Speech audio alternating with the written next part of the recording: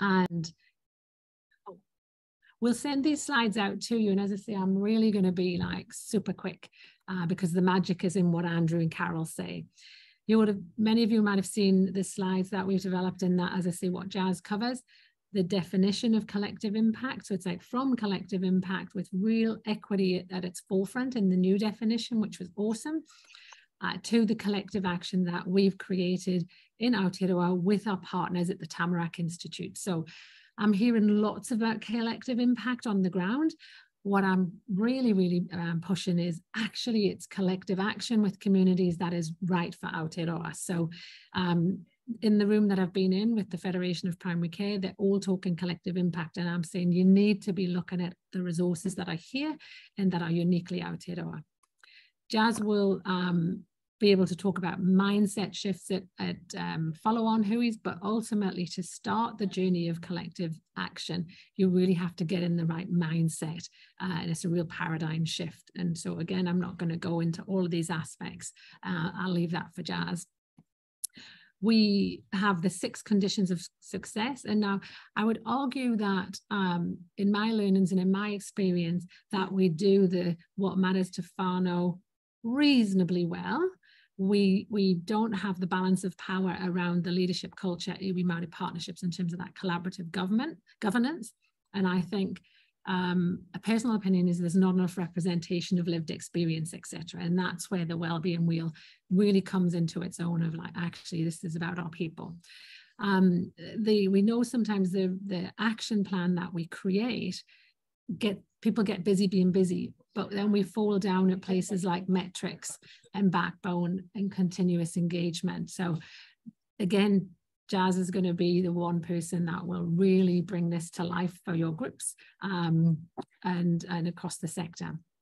As part of that, developing and, and, listening and responding to the sector around really making sure that we've got that Hawara lens uh, a bit clearer. We revisited the roadmap that sits in the current booklet and actually wanted to make it more, um, again, uniquely Aotearoa. So really just wanted to highlight that.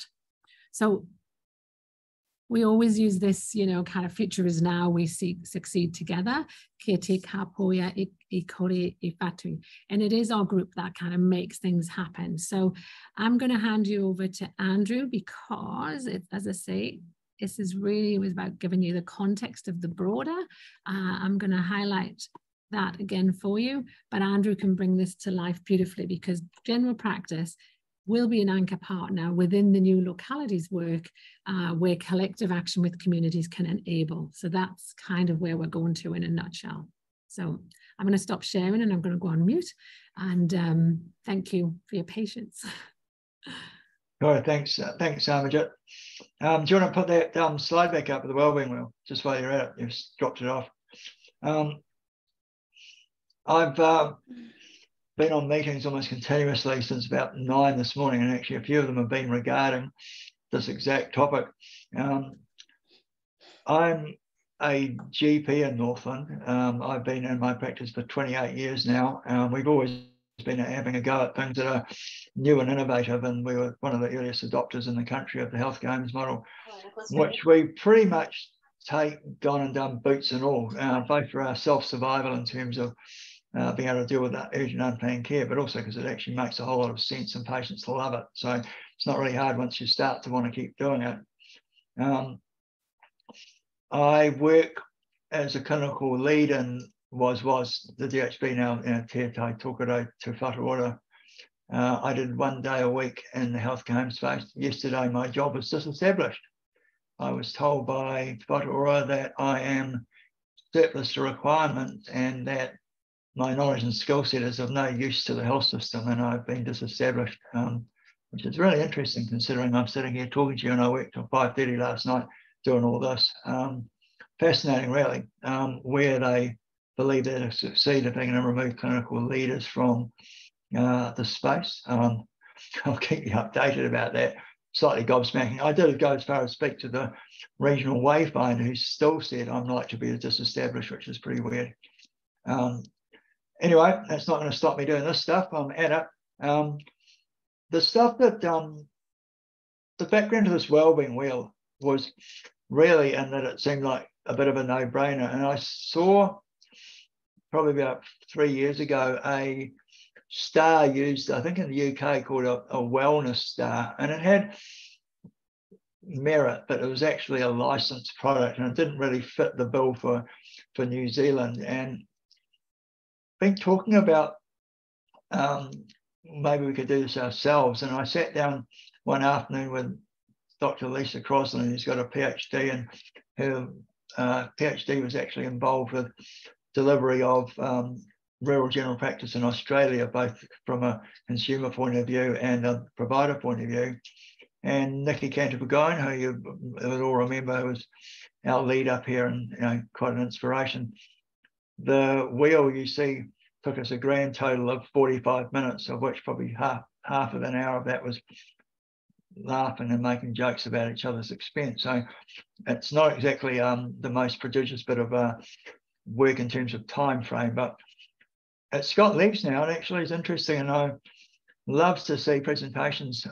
I saw a beautiful one coming out of Tū Ora Compass, you know, Te Ara uh, Paiora work there with the wellbeing wheel smack in the middle of it. And yay for that. I mean, it's that's absolutely lovely. I think Procare may be using it. I think a few of you liked it. Um, in fact, I don't know if anyone's from uh, Tū Ora Compass actually on the meeting. They probably should be doing this presentation, not me, because they've taken this and run with it really, you know, beautifully and intend to use this initially in their wellness plans out of general practice and then end up with um, having uh, know, a, a portal access, you know, the tool for actually people to own and do their own community navigation.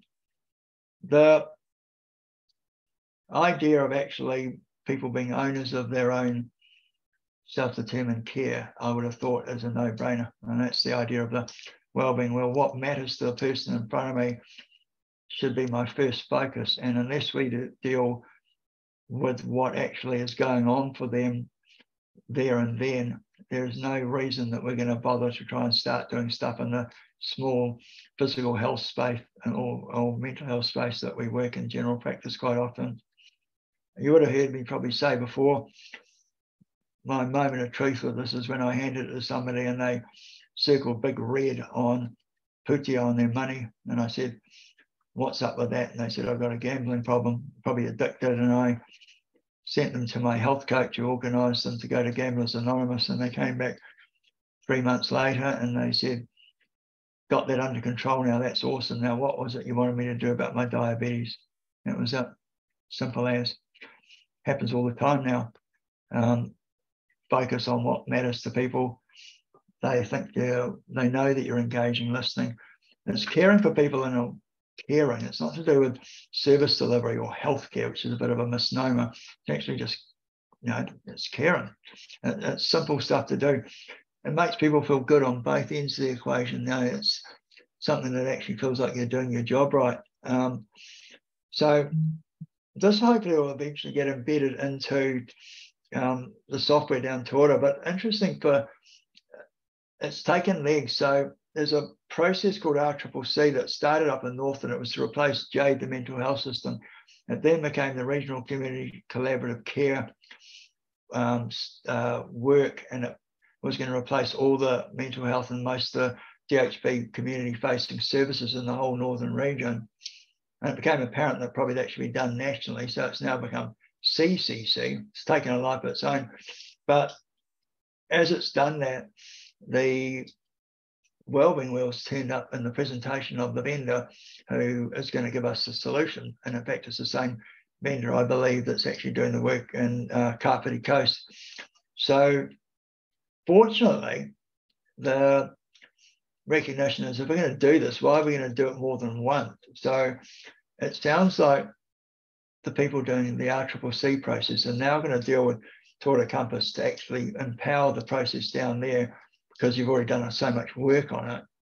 Uh, and then fold this back into Hira, which is a bigger national process of giving people portal access to all their information. So from that little old 45 minutes of sitting in the room and where this might end up, that's that's quite exciting for me to see that. Um, the hopefully too that um, it will be that we remove providers and GPs and just managers and other decision makers from whether people get this or don't get this. Um, at the moment, it seems, you know, I know this from patient portals, that decision whether someone gets a patient portal is usually dependent on the owners of a practice or the GPs within a practice or the managers who are going, well, we don't offer this or we do offer it, but not systematically, or we just don't want to do this at all. That, to my view, is something that we're just going to, it's indefensible. So this, I hope, will end up as a situation where well-being and portals and access to your own um, ability to do things is an opt-out, not an opt-on, so that you can do as much as you can with your whānau and yourself um, to make sure your well-being is maximised. Well, I've spent a lot of time trying to win hearts and minds of people over this stuff, and it's really hard to get people. Don't disagree with it; they like it, they like the look of it, but then to get people to use it is difficult. So if we give it to people themselves, they can use it. Obviously, that, that it's something that gels with them, and seems that it is when you actually show people this. It's simple enough, um, and if we embed it into software and we embed it into the flow of work, so this is the first thing that pops up on the screen when you uh, someone is visiting any provider, then it becomes what we do. And the resistance might come from providers. Providers want to do this job. It actually feels right. It feels good. It's just going to come from commissioners and decision makers who often go, well, that's not how we do things currently.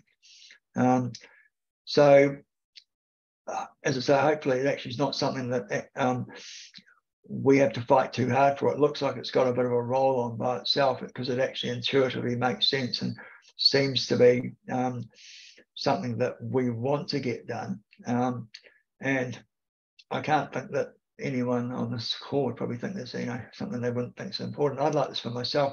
And when I got really crook a few years back when I got my head and neck cancer, um, no one asked me anything on that wheel at all about anything apart from my physical health.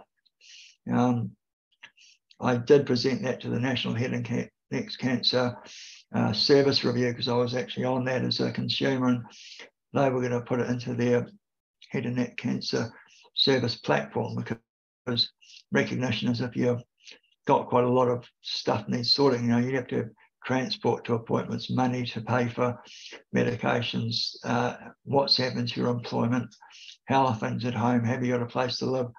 They saw it as something they wanted to use as well. Um, it's something I think that um, when anyone's got anything going on, particularly long-term conditions or something big going on in their life, then we have to remove the barriers to um, making it as easy as possible. You know, people are pretty stressed out as they are, and let alone um, making things harder for themselves. I wouldn't mind just actually even just stopping and opening up the floor because I'd rather, you know, in taking some questions or seeing what other th- people think. Um, don't know how far any other regions have got with this. Wellington's powering along with it. Um, and whether you guys think this is something that um, you've shown to people and met resistance or that you've actually shown to people and they've enjoyed, you know, like the look of it. So don't know, just uh, if anyone wants to make a comment, go for it.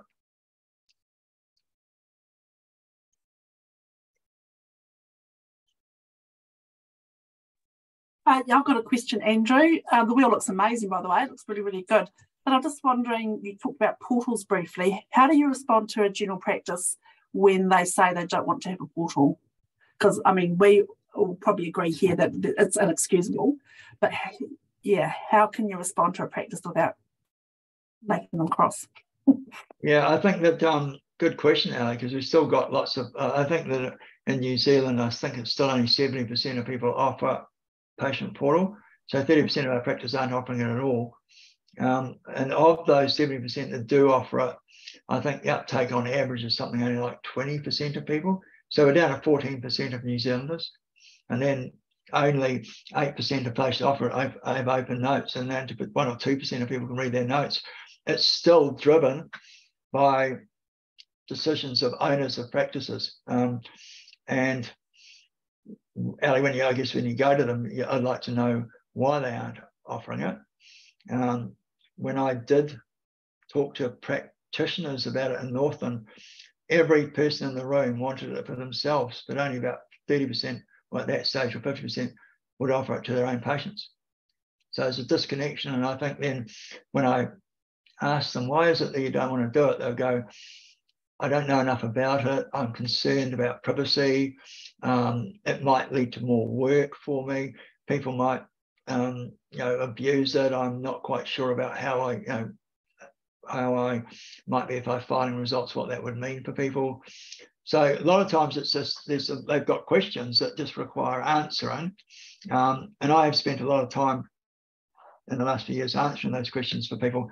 Um, sometimes they're challenging their assumptions around it. And uh, I think GPs are very defensive. We don't want to drop the ball, make mistakes, get things wrong. So one way of not getting things wrong is not doing something, you know, in that regard. Most of the upside of it is um, beats the downside. There is definitely a change in your workflow and workload if you embed it fully. But it's weird in my view, in that what other industry, you know, is allowed to get away with this? I mean, banks offer internet banking. If you didn't have one internet banking, you wouldn't use it. Um, if you couldn't booked accommodation online or flights online, you wouldn't fly or you know use that company. This is something that patients are being blocked from having. I'm sure it's not good for their outcomes, and um, talking doctor to doctor helps, Ellie. So getting a doctor who uses it and can answer those questions is helpful. But you know, there's an attitude out there that I don't think we're going to win hearts and minds of those people. So that's why we think about Hira and other solutions, which you know, don't care whether you want to offer or not. We're going to give people all that information because it's not yours to withhold. Yeah, thank you. I, I think the open notes is a big thing that comes up in my discussions is that yeah so oh, yeah. We, let, we let anyone have their notes but they're not prepared to have them open yeah the um, open notes you can you don't have to open your notes that's one thing so you can actually with portals a lot of times you can lock down all sorts of stuff you don't want you can lock down so they can't message you mm. um, so you can you know you can strip down what you do offer um, the open notes is just not an issue so if you roll on if you sign up the bush road today you'll get your notes back to 2014. So you get the last nine years of notes, whether I knew you were going to read nine years of notes or not. Uh, we're yet to have a complaint from a patient about our notes. I'm actually yet to hear a complaint from anyone in New Zealand about open notes that they've ever had any problems with them at all, not one. Yeah. So when you when it finally comes down to it is uh, it's a non-event. Yeah, that's been my experience too. But it seems as though you just can't tell some people no, I don't think you don't think you can tell people. And I think even coming back to this well-being wheel, you people will look at that and go, I mm-hmm. don't mind it, but I'm not going to use it. Um, that's why I think we've got to be looking at ways of taking that decision making away from the providers who decide what you know what goes on and passing it back to the people it matters to, which is whānau and, and making and people themselves to make them owners of the process. Um, I don't know how you, where, where you guys are set, but many of much of this stuff is done by our nurses. They're done in our Kia Visional Care Plus nursing, um, who really like the idea of actually uh, populating their shared care plans with exactly this sort of information. It makes goal setting easier. It makes what people want easier, um, and yet it's GPs who are saying, I don't really want to do that shared care plan, I want to use this process. They're not even involved with it most of the time, but they're still able to make decisions about blocking it, which I think is going to be taken out of their hands at some point because it doesn't make any sense to me. Andrew, can I just jump in? Sorry, Ali. I was just going to add to some of that. Um, uh, thanks, Andrew. Uh, it's really good and, and good question, Ali, because I think some of that fear that um, and the resistance, you know, actually is just people just do not see the, the value. Um, and I think if we can really elevate the stories of where people have found value, like you say, Andrew, connect to some of those GPs with other GPs who have used, um, you know, the portal and, you know, the difference it's made. And like you say, not just the GPs, nurses. So um, you know, the more we can kind of elevate those stories and, and socialize those stories and, and actually, you know, really from a patient point of view, actually saying, this is how it made a difference to me, mm. um, I think is, is, is also the way that we can kind of convert some of that, that thinking and take away some of that fear. I mean, it's, it's valid um, for a lot of doctors, you know, the you kind of a lot of the news stories that we hear is privacy breaches. And so, you know, if we can, can begin a dialogue and actually start unpicking some of that, you know, also people will realize the value that it's um, that it's bringing to a lot, you know, those people that are using it. Yeah.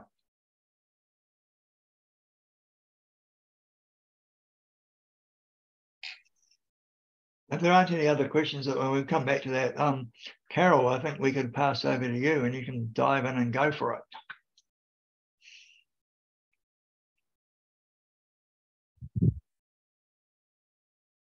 You're on mute, Carol.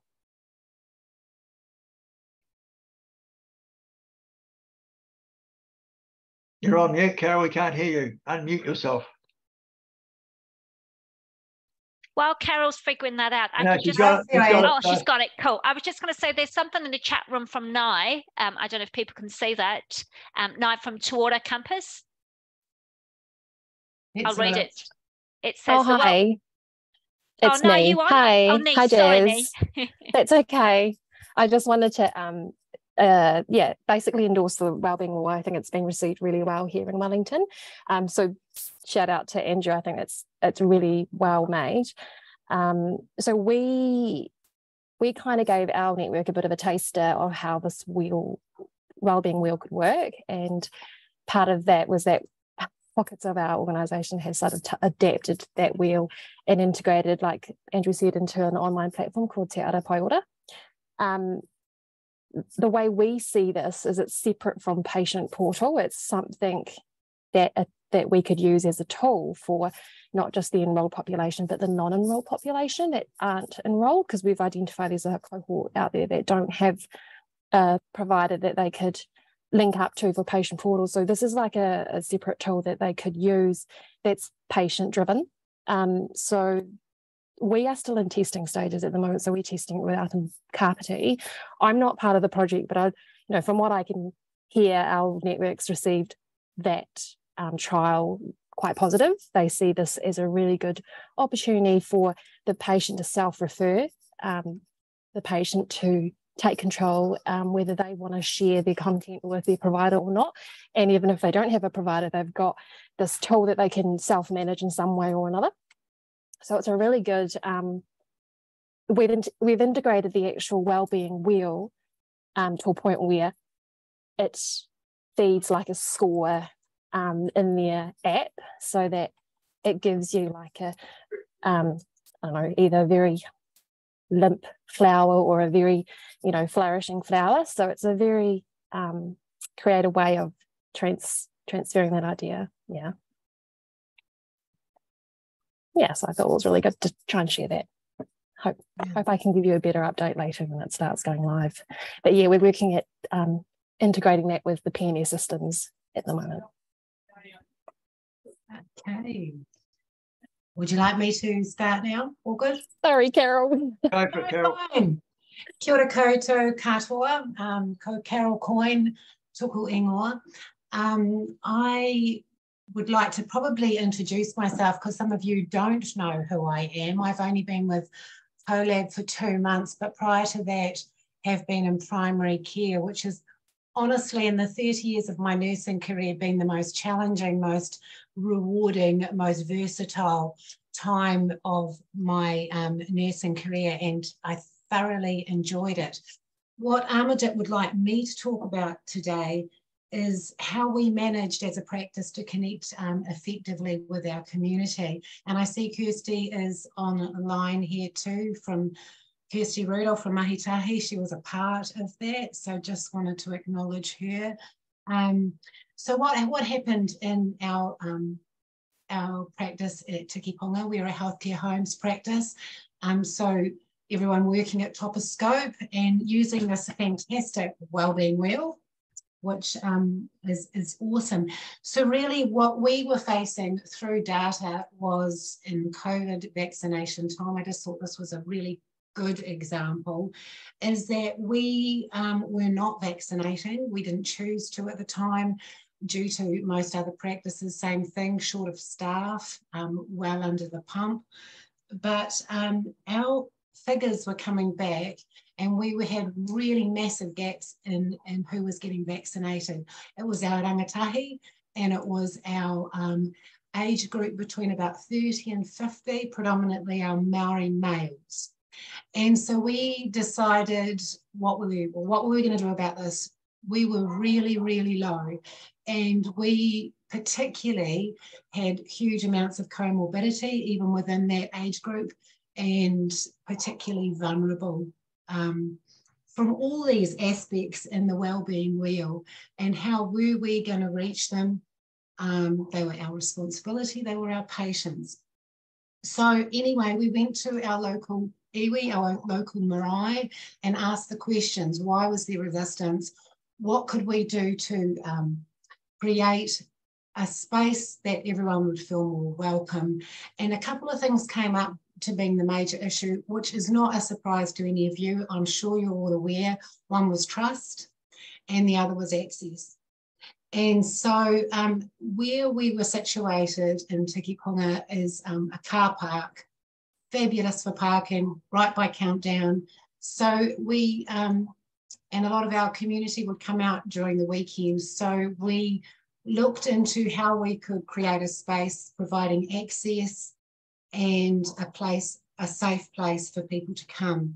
So we um, talked a lot to our kuia and kaumātua and they were really pro-vaccination because they're, that, they're the age group that saw the Spanish flu and our urupa and, and, tuberculosis, polio. So they'd really been through a pandemic and that our urupa, are, you know, littered, particularly with Māori, throughout our nation of um, people who died during these pandemics. And so they were really motivated and really disappointed that their rangatahi, that the young people, that the tough, the tough boys weren't getting vaccinated. And um, I even spoke with one kuia, she locked her door, none of her whānau were able to come into her house because they were not vaccinated.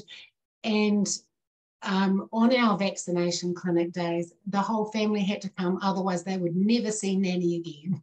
So there was some great work done within that. But back to how we did it, we then decided that they would be our manaaki, our support. They would have front of house. Our, a team of about probably 10 older kuia kaumātua would come, sit outside, play the guitar, sing waiata, provide a cup of tea. We had, I'm not sure if any of you know Shirley Ann Brown, she is my sister-in-law. She was there to provide actual information, right information. And so we kept this all um, them and, and, then inside they would come and they would be clinic, clinically have their vaccination. And then their waiting time after was back with whānau back in um, still with some nursing coverage, but back with people who they felt like they could really trust and share their experiences. The other thing we wanted to create was no pressure that you don't have to be vaccinated. You're here to have to ask questions, to feel comfortable, maybe come back the following weekend. So we said like about six to eight weekends where we made this space available. And um, the uptake was phenomenal. But the neat thing about how the COVID um, register was set is you didn't have to be registered within that particular practice. And so we had lots and lots of drop in, particularly young people, um, and had some really interesting um, experiences because of social media. We had young um, rangatahi um, saying things like, Am I going to die? Um, if you give me this vaccination, will I die? You know, that was um, a real thing that we had to work through will I die? The other thing is I'm just asking for a friend. Can I smoke weed um, after this? Can they smoke weed? Um, is it okay to drink? You know, these are real questions for our young people and to be in that space where it was safe and um, obviously not highly encouraged, but, you know, we want them vaccinated. So, so there was a, a space, but through that relationship building within our within our local marae, um, we were then invited as a practice onto the marae. So we shut the clinic early just to acknowledge the mahi that we'd done as a partnership and, um, and the fact that they invited us to do a um, vaccination clinic on the marae.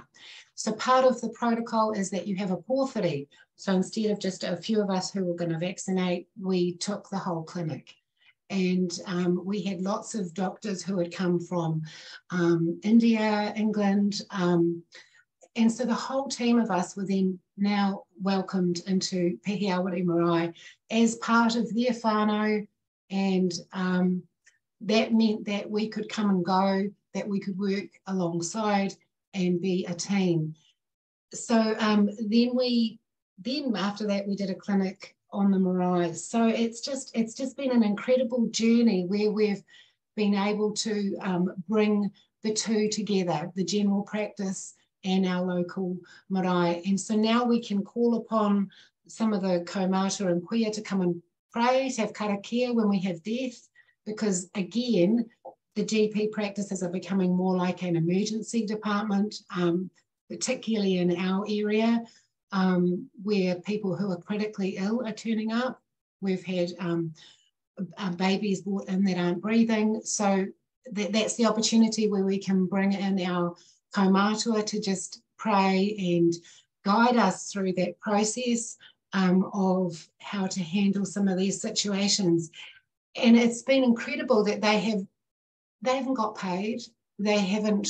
We took a koha and a gift, a taonga, when we went to the marae. But these are people that have given up their time because they're so passionate about the health and well-being of their whānau and their community.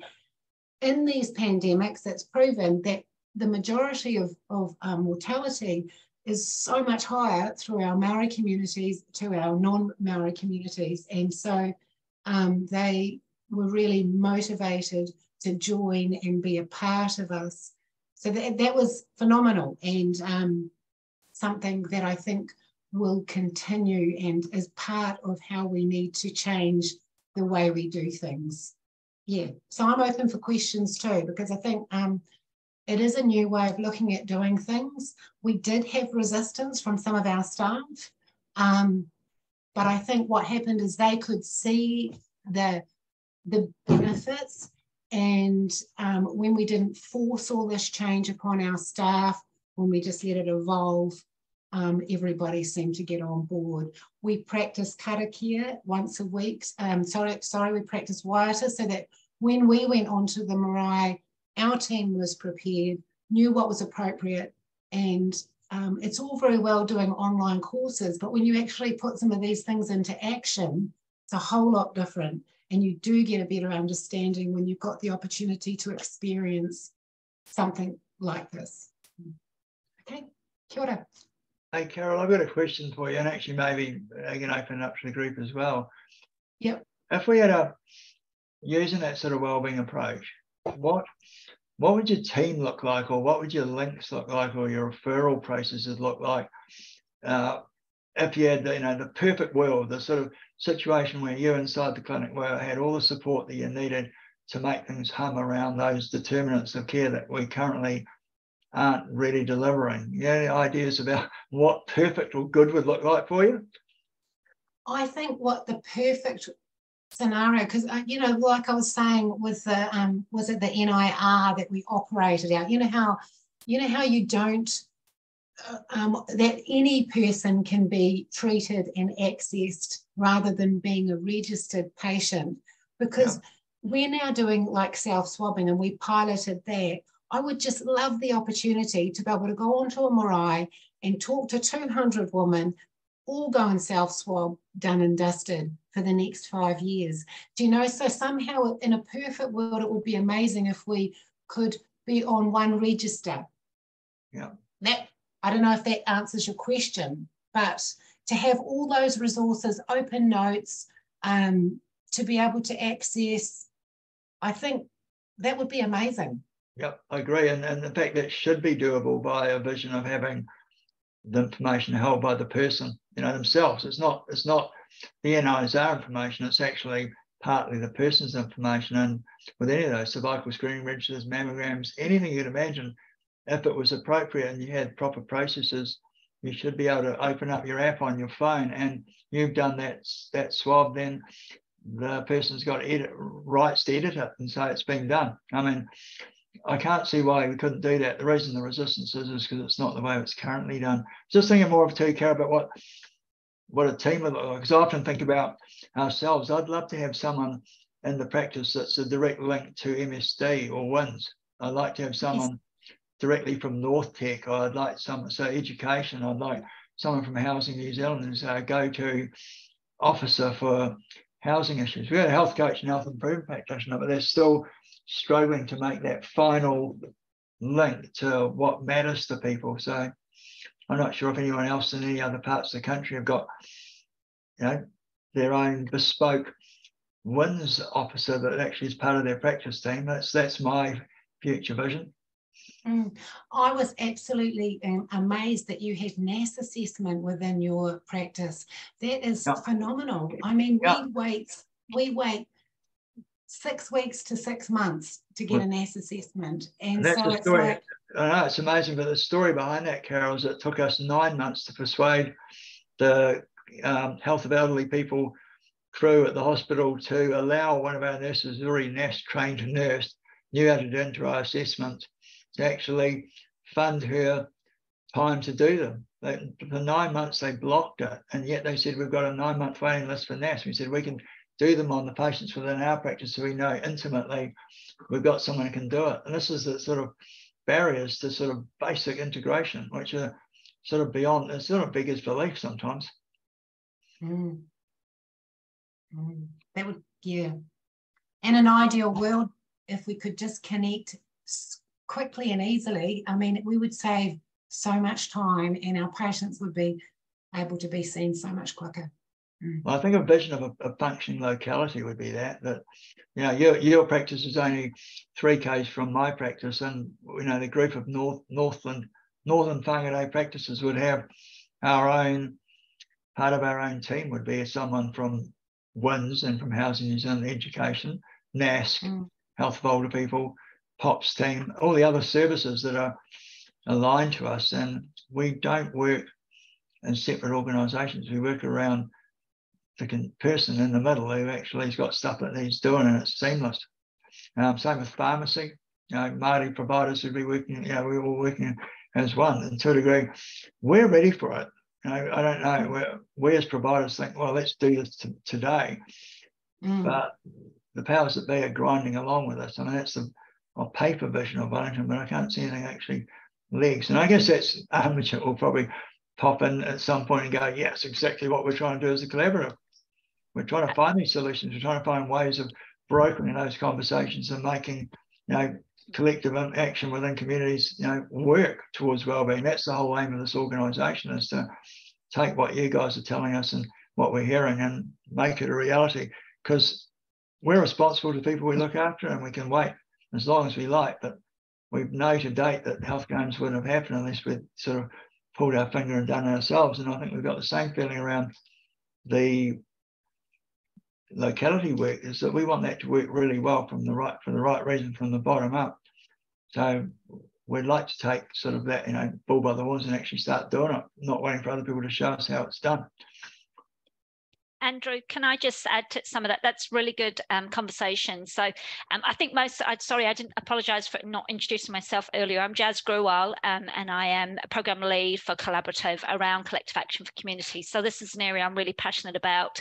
Um, and I have a background in social work. So all this rhetoric around, you know, serving the whole person, not just health, it's thinking about all their other, so the wellbeing wheel um, that you kind of have developed, Andrew, um, you know, I'm really excited about.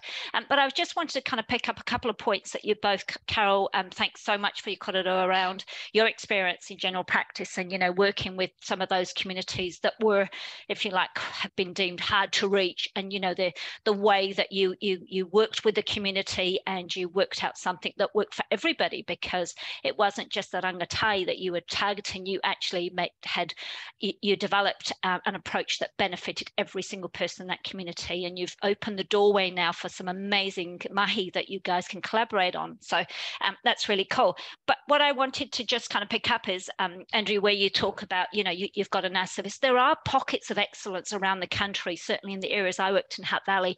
Um, one of the areas one of the populations that we were keen to to work with and and uh, and serve better was our palliative care populations so within the Hutt Valley actually across the three DHBs in the lower North Island Cap Coast Hutt and um, and Wairarapa is that there are these MDTs that include a whole uh, plethora of services that have input around um, it, around delivering the palliative care needs for patients. A lot of them were centered around older people, so they had NASC at the table.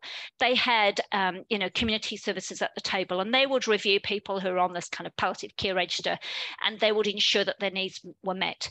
What would what I'd love to see is to see that, and that is uh, very much around those kind of um, MDT meetings that the healthcare home model is promoting, because what we want to do is, is deliver that kind of approach, not just with palliative care patients, it's for the population. And that should be a standard for anyone that has complex health needs. And so where we have a, you know, a, a, a mindset that's a lot approaching patient care in that whole of self um, and that whole well-being only then will we, can we begin those conversations with those other services and those other agencies who are who are grappling with the same challenges. Um, if I think about MSD a number of years ago, um, uh, work and income when they were work and income when they moved into um, what was it? What are they now? They are. I always call them. They were WINZ, sorry, and then they became work and income.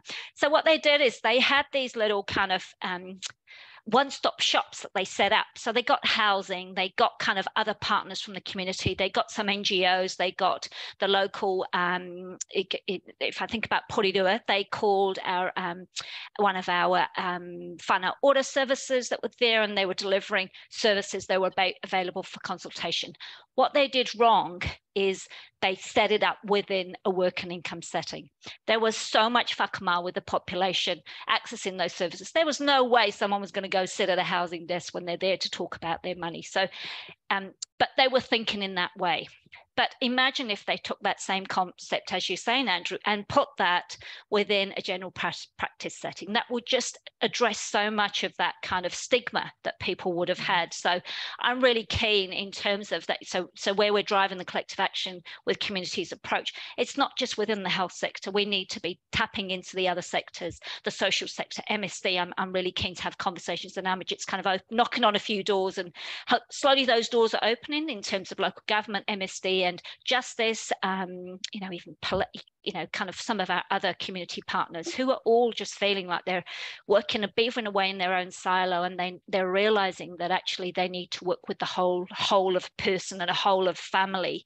Um, and so they need to be partnering with others. Education is another one. Um, you know, if we look at our, you know, our, our the number of children that are going to school without the things that they need to learn. So, you know, there's, there's, yeah, I'm quite excited by the opportunity about thinking about localities and thinking about communities and and really elevating that kind of grassroots approach about delivering something that matters to the people.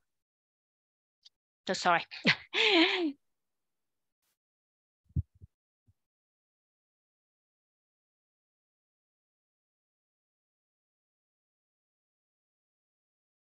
Um, is you got anything you want to add?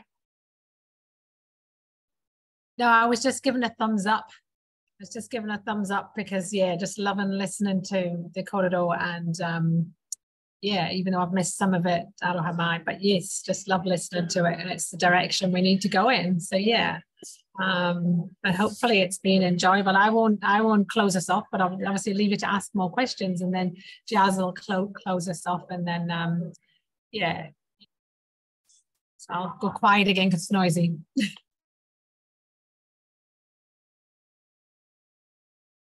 I think that Jazz, what you're describing is, um, you know, he says pockets of excellence and how we we've done quite well with healthcare homes taking those pockets of excellence and then disseminating them, you know, because we've, you know, managed to, uh, uh and I are quite keen on stealing good ideas. Um, the, um, the hope I would hope is that at the moment, obviously, there are some prototype localities around.